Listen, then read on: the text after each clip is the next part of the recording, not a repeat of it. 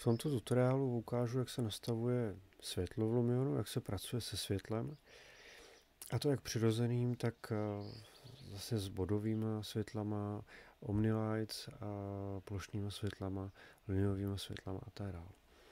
A řeknu pár prostě triků, jak pracovat s tou scénou, jak ji nasvítit.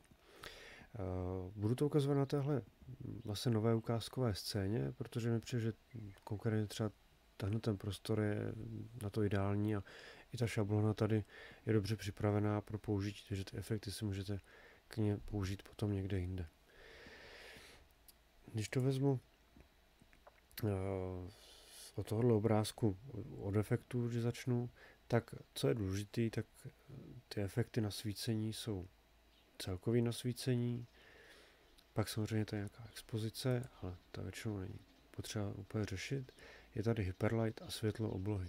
To jsou efekty, které jsou pro práci se světlem prostě extrémně důležitý a bez nich, pokud tyhle tři efekty minimálně světlo, oblohy, hyperlight a celkový nasvícení eh, se nenaučíte používat, tak neuděláte dobře nasvětlenou scénu v. Nebo to bude teda těžký. Ten hyperlight to je v podstatě nejjednodušší. Máte jeden posuník, který vám jenom říká, jak moc se to světlo bude distribuovat do okolí. Tak když to dám na minimum a kliknu na náhled, tak vidím, že to je mm, takový ponurý, tmavý, že tam toho světla dovnitř se moc nedostává. Jakmile hyperlight dám navíc, tak vidím, že najednou ty barvy všechno ožilo, to světlo je tam prostě automaticky uh, přidaný z toho okolí. Uh, funguje to tak, že se prostě podle toho, jak svítí slunce a co tam, kde je světlýho, tak se to odráží od těch materiálů a tak nějak se to hlavně na těch kolmých materiálech přesvětluje dokupy a to světlo se tam šíří, prostě tak jak klasická radiozita. Pak je celkové nasvícení nebo global illumination. To zase ukazuje, eh, jak moc toho slunka pustím jakoby dovnitř z těch a zase řídí se to odra, světlostí materiálu, jeho odrazivostí, Eh, to světlo opravdu dělá prostě klasický jakoby ray tracing, že se, se šíří po těch materiálech, a, nebo path tracing, teď nevím, co tam konkrétně, a jak to prosvětluje ten prostor. Tohle je super v tom, že vám to prostě krásně prosvítí uh, jenom přirozeným světlem, takže já když si řeknu, že to chci dát světlejší, podívám se na náhled, teď mi to udělá s tím hyperlightem dokupy prostě tam to světlo mi to dá i do těch míst, kde normálně úplně není, byly tmavší. Když to vypnu, a kdybych to vypl i ten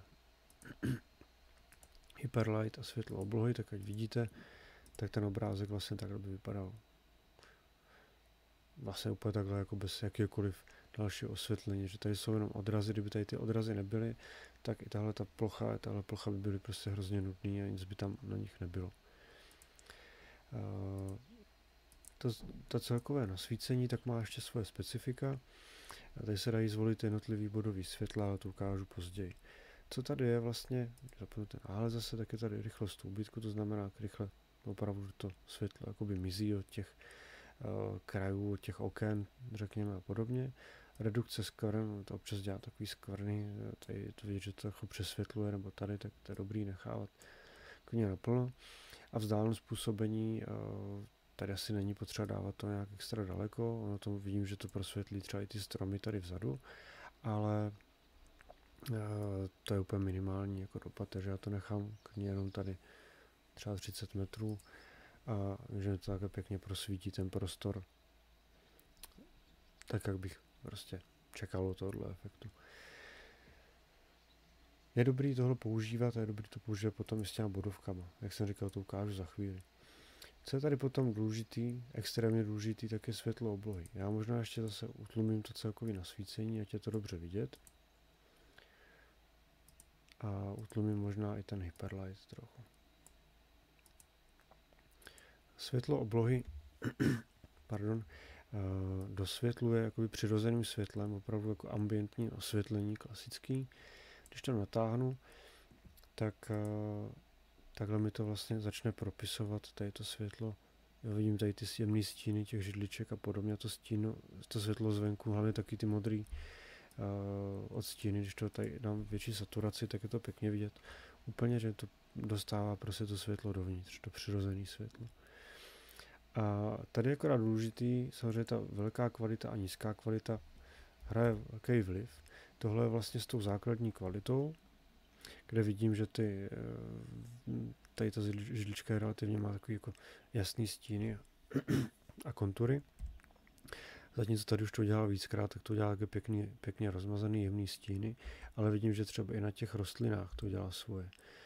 Jo, a, to, a to vlastně na jakoukoliv vzdálenost, že to víc zapasuje světelně ten, ty rostliny a všechny ty detaily do toho mm, nasvětlení ty scény, když to řeknu.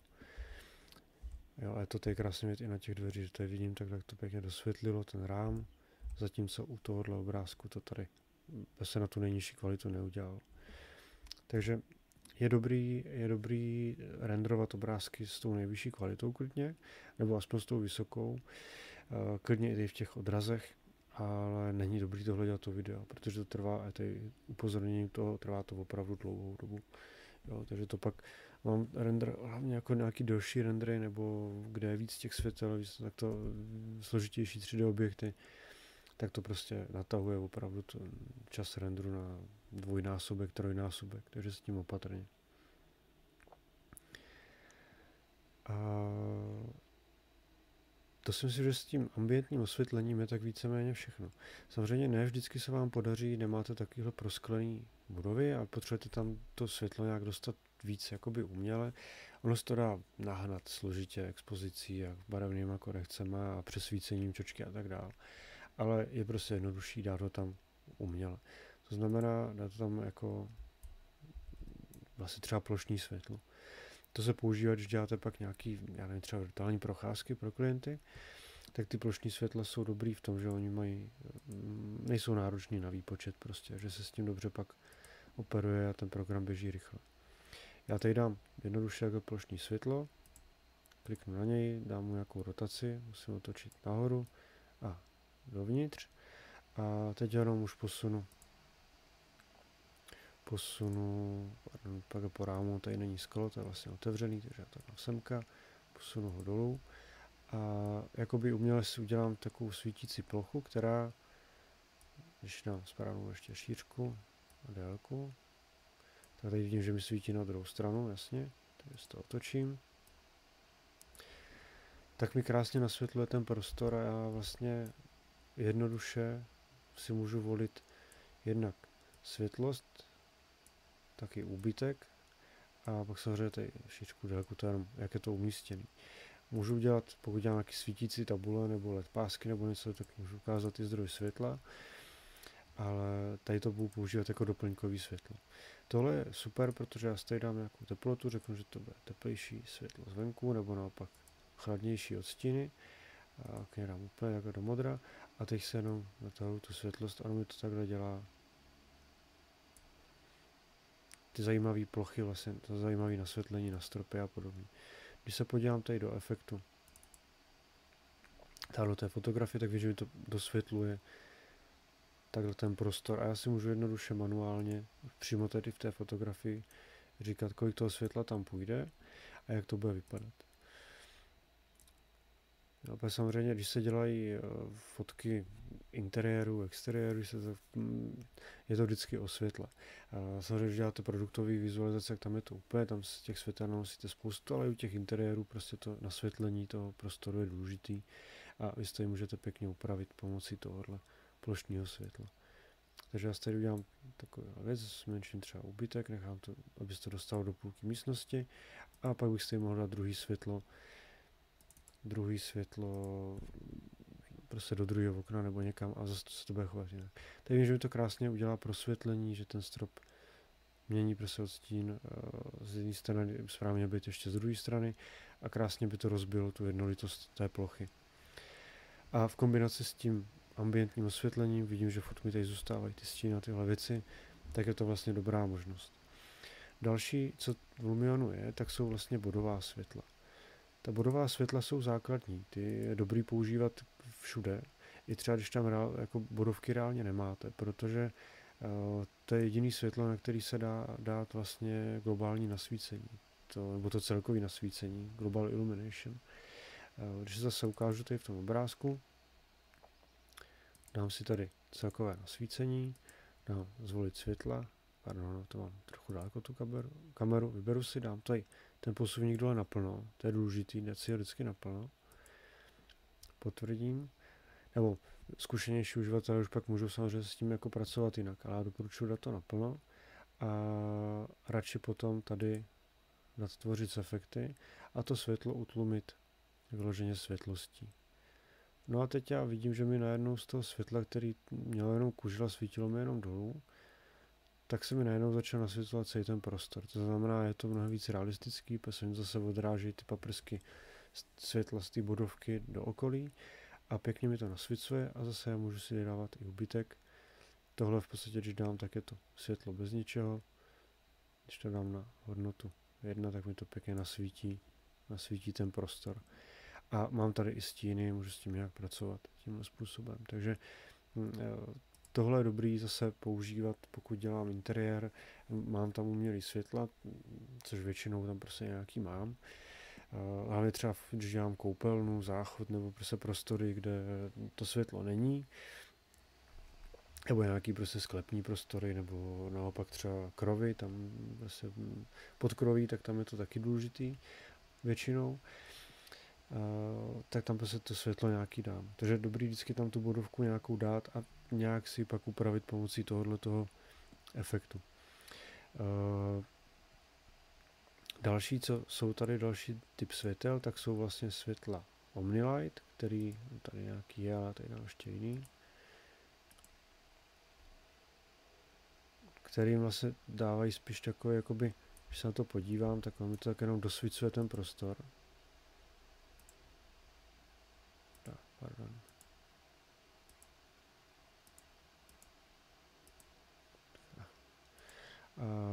Tak mi to dosvěcuje ten prostor a podle toho, kde ho dám, jako dám světlý, tak mi to prostě dosvěcuje takhle to světlo. Teďka nově v Lumionu vlastně tyhle ty Omnilight umí dělat ty stíny, že vidím, že to je nějaký stín, takže to můžu použít do žárovek nebo do něčeho. A tohle mi ale neumí reagovat na nějaký GI a na tyhle ty efekty. A samozřejmě Hyperlight funguje, to je, to je jasný. Mám tady vylouči, zónu vyloučení stínu, takže když chci, aby ty stíny nebyly pešuje, tak s tím můžu takhle pracovat. A to je dobrý teda na rozsvícení jako takový. Pokud bych chtěl rozsvítit nezávisle bez těch stínů, tak je tady uh, light fill, což dělá vlastně nasvícení celkově. Vidím, že ať tam jakkoliv, tak mi to pořád dosvícuje, uh, vůbec to neřeší nějaký stíny. Tady mám opravdu jenom světlost a úbytek. Takže to jsou takové pomůcky uh, už na hranici nějakého spíš jako grafických světelných pomůcek než, než jako reálného osvětlení, ale mnohdy jsou velice jako příjemné. No a ty světla ještě zpátky, co jsou ty plošný, tak tady jsou samozřejmě kromě plošných linový, takže já si třeba řeknu, že tady bude nasvětlení kuchyňské linky. Pardon, takhle. Dám si tady ještě takovýhle dosvětlení a zase musím s tím nějak pracovat, tak si řeknu, uh, pardon, proč mi to přepíná teďka, si jak nahrávám, je dobrý zase pracovat s tou světlostí, ale ne třeba až tady, ale až v té fotografii. Tady si to dáme jenom tak nějak přibližně, dám si tady, že to bude trošku teplejší to světlo, když je to u linky a Tady vidím, že je to už tak jako přesvícený možná zbytečně. Když se podívám, jo, stačilo by to méně, zase dám si tvořit efekty a uberu světlost buď jednou světlu nebo druhým, možná obojím. To dám trochu méně a tady dám možná větší úbytek, ať jenom vidět, že tam je to světlo, ale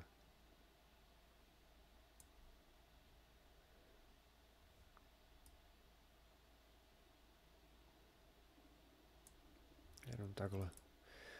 No a teď tím, že to dělám vlastně v reálném náhledu skoro, tak teď si kliknu a vím, že to mám dosvětlený tak, jak bych, jak, bych čekal.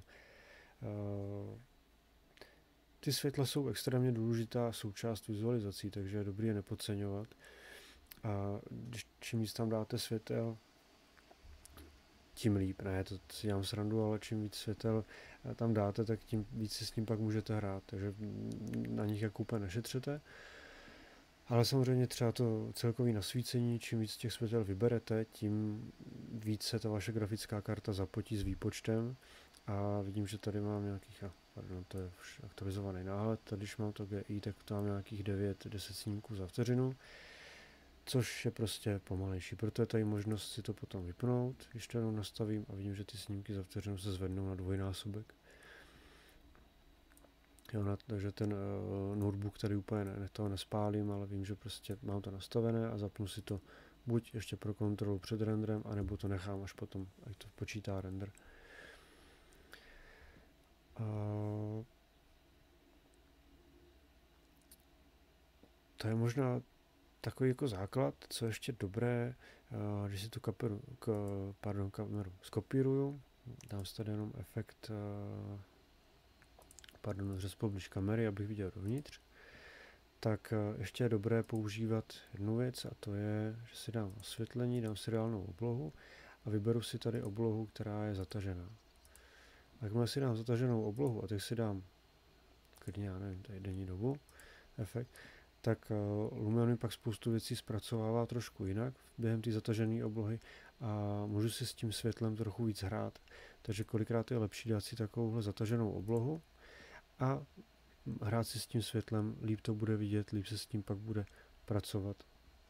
Uh, to znamená, dám tady hyperlight, zapnu ho, aby byl líp vidět, dám tady světlo oblohy, natáhnu ho na maximum, dám vysokou kvalitu, tady u obrázku klidně můžu a dám tady třeba eh, trošku ostrost, ať je to pak ještě líp vidět. A, a, a ještě jsem chtěl celkové nasvícení, tady to moc vidět nebude, protože to slunce je schované, takže tady to nemá smysl, ale ukáže mi to zase líp stíny od světel. A teď když kliknu, tak vidím, že mi to dělá takový jemnější, jemnější uh, zpracování těch světel díky té obloze, že s tím můžu takhle pracovat zase trošičku jinak. Uh, takže není, není vůbec špatný dávat k tmavší oblohu, zataženou oblohu, nebo třeba nevím, jaký raní, raní oblohu do pozadí, protože ono to pak ovlivňuje samozřejmě i stíny a světla uh, v tom interiéru. Takový bonus, eh, co ukážu, tak je tady v, kam, v kameře světlost objektivu.